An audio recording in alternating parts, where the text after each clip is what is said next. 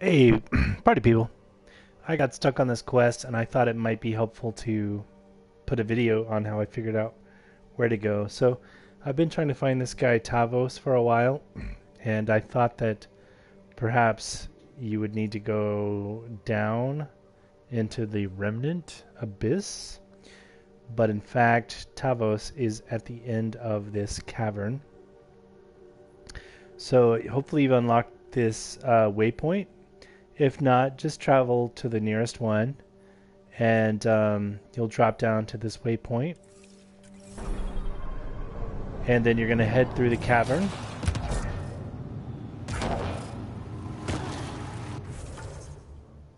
Uh, this way. There'll probably be a lot of resistance, so just watch out or run away. Choice is yours.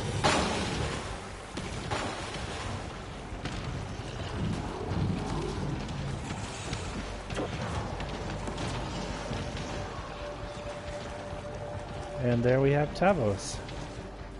Let's see what he says here. Hey, ammo! Yay!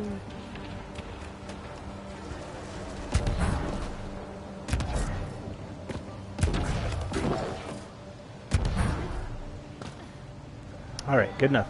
So there you have it, guys. That's how you find Tavos. If you got stuck like I did, I hope you find this video helpful. Thank you, thank you mucho.